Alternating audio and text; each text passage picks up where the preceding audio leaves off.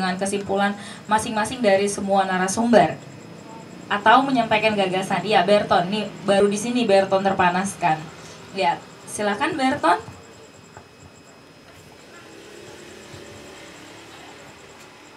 Ya, uh, terima kasih untuk teman-teman semua. Sebenarnya uh, saya datang untuk menikmati aja karena jujur saya tidak baca bukunya.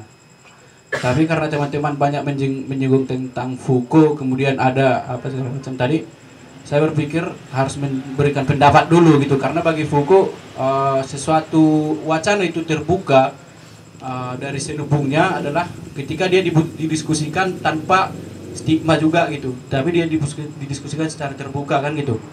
Tapi kemudian teman-teman uh, dan juga jujur saya tidak baca bukunya tetapi uh, bukunya Oki salah satu yang saya baca itu Pasung Jiwa. Nah kalau teman-teman uh, katakan tadi Oki tidak uh, sanggup untuk merepresentasikan Foucault kupikir Oki seorang Foucaultian dia sanggup. Hanya mungkin karena dalam bentuk ilmiah nggak tahu saya. Tapi berkaca dari apa yang Bang Juhendri katakan tadi ketika uh, katakan sejarahnya sastra itu misalnya ada sejarah horizon, ada sejarahnya uh, pustaka segala macam itu uh, itulah yang disebutkan dengan uh, Foucault sebagai sejarah yang tidak linear. Bagi Foucault itu sejarah tidak linear. Artinya itulah kenapa dia katakan sejarah di abad 16 itu tidak uh, sama dengan sejarah uh, bukan hal yang mempengaruhi sejarah di 17. Artinya itu punya fragmen-fragmen tersendiri, lahir dengan cara cara mereka sendiri gitu. Itulah yang disebut dengan dalam pandangan saya genealogi pengetahuan itu gitu. Asal usul pengetahuan gitu. Asal usulnya pustaka itu uh, apa tadi? Yang lahir di zaman kolonial itu beda dengan asal usulnya horizon gitu. Meskipun mungkin ada orang-orangnya yang sama. Atau mungkin membaca buku dari apa yang eh, diterbitkan oleh pustaka apa gitu Uh, kemudian yang saya pahami dari Foucault adalah label akan kekuasaan gitu. Label akan pengetahuan yang kemudian melanggengkan kekuasaan gitu. Itulah yang dibongkar bagi saya ketika membaca tiga hal ini Islam, sastra dan kapitalisme di judul itu uh, budaya kapitalisme yang disebutkan di situ adalah budaya konsumsi.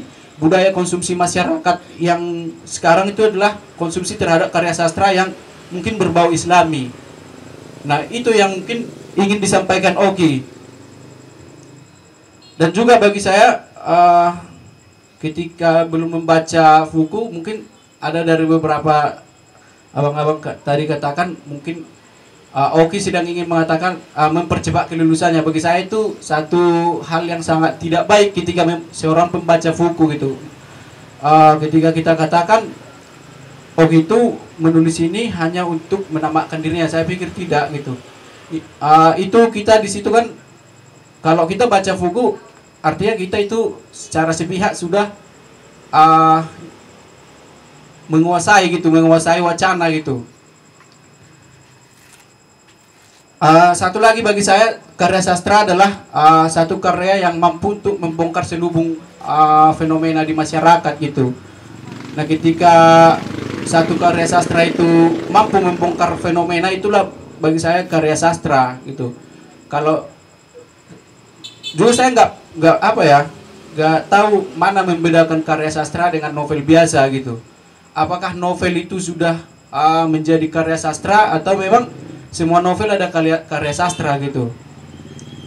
Ketika dikatakan di situ di buku itu itu pertanyaan saya sih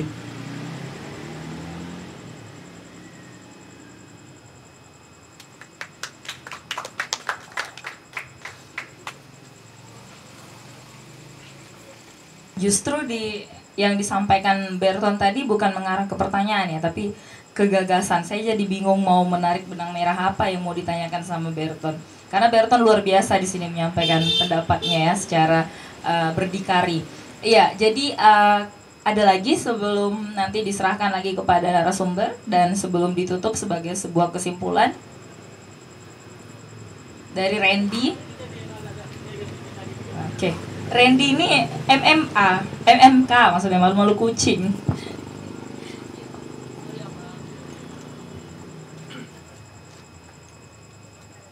Ya, pertama perkenalkan terlebih dahulu. Nama saya Randy ya. Temannya Berton juga. Nah, jujur memang sama. Saya belum baca bukunya dan juga memang saya tertarik dengan judulnya Kuasa Sastra Perlawanan Kapitalisme dan Islam gitu. Saya kira di antara fragmen-fragmen yang disebutkan tadi itu saling kait mengait gitu.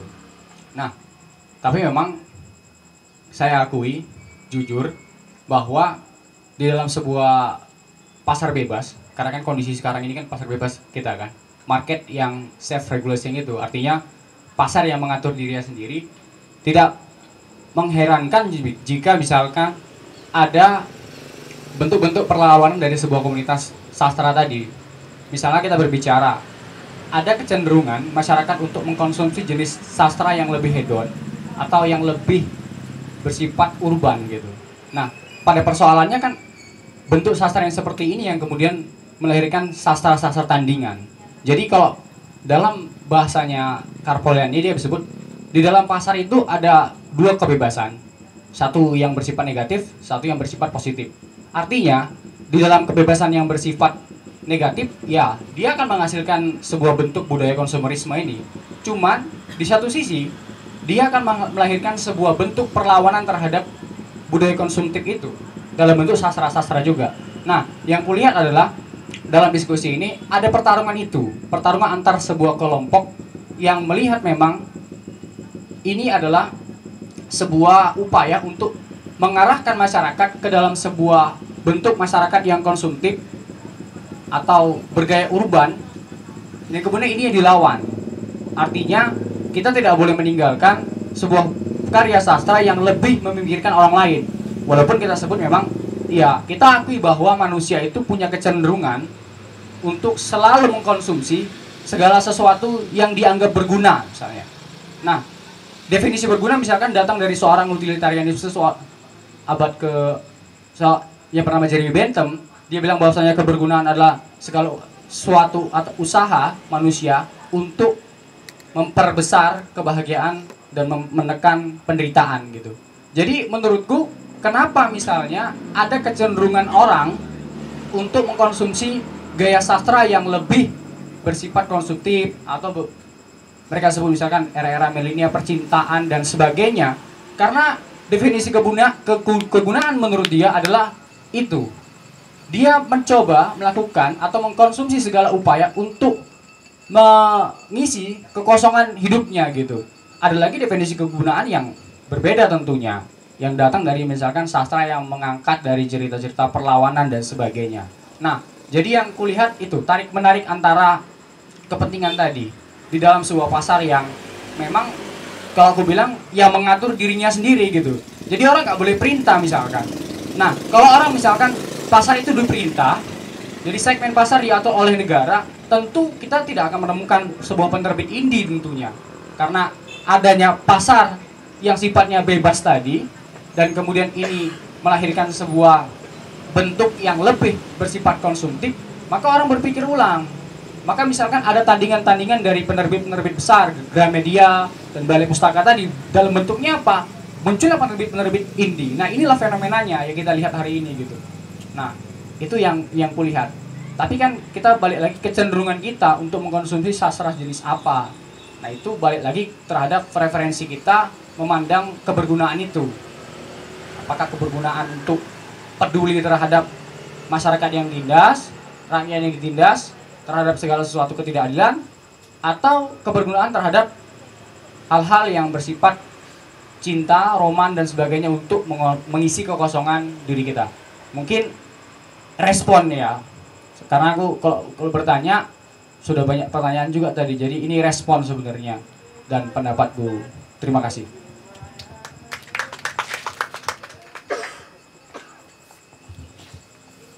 Terima kasih uh, untuk Randy. Nah, langsung saja kita berikan kepada narasumber uh, mulai dari Robi sendiri. Uh, baik. Uh, jadi waktu membaca ini sebenarnya uh, saya juga bingung gitu kan. Sastra perlawanan apa sih yang dimaksud Oki sampai uh, saya mengulangi memba membaca kan. Karena ada juga subnya, mereka yang sub babnya, mereka yang melawan tapi di akhir kesimpulannya dia mengatakan bahwa semua semua jenis karya karya sastra itu adalah sem- eh semua semua jenis karya sastra adalah perlawanan terhadap salah satu karya sastra yang hegemonik yang yang eh, menang di pasar. Iya. Jadi terserah jenis karya eh, sastra Islami yang realisme sosialis atau yang lain itu semua menurut eh, konsep di kesimpulannya itu semua adalah eh, eh, apa ya perlawanan karena semua eh, jenis karya sastra ini adalah berisikan pengetahuan dan juga wacana. Jadi eh, sebenarnya di sini eh, apa namanya hubungannya dengan Foucault bahwa eh, ini adalah pertarungan pertarungan pengetahuan atau perta- dan juga pertarungan kekuasaan karena menurut Foucault pengetahuan itu selalu melibatkan kekuasaan dan juga sebaliknya gitu. Nah hari ini eh, yang menang eh, dilihat oke adalah sastra-sastra eh, apa apa tadi ya eh, is- Islami baru sastra motivasi dan juga eh, sastra cinta. Jadi yang dimaksudkan Oki itu percintaan, kapitalisme dan agama. Agama yang dibahas Oki itu itu bukan sebagai sebagai apa ya? Itu yang itu yang menghegemoni. Tapi eh, seperti di Laskar Pelangi itu bukan itu yang yang barusan disampaikan disa- disampaikan si penulis novel akan tetapi kehidupan kehidupan orang miskin yang eh, apa namanya kehidupan orang miskin eh, yang perjalanan hidupnya kemudian menjadi kaya dan mengelulu dan mengelilingi perjalanan-perjalanan ke luar negeri. Inilah yang diterjemahkan Oki sebagai eh, apa namanya ya sebagai mencari kekayaan materi dan juga eh, apa namanya menjadi konsumeris karena eh, tokoh-tokoh dalam novel itu dianggap eh, mengusung semangat itu gitu mengusung semangat yang dimaksudkan eh, oleh si si Oki gitu. Nah baru kemudian eh, menanggapi kapitalisme yang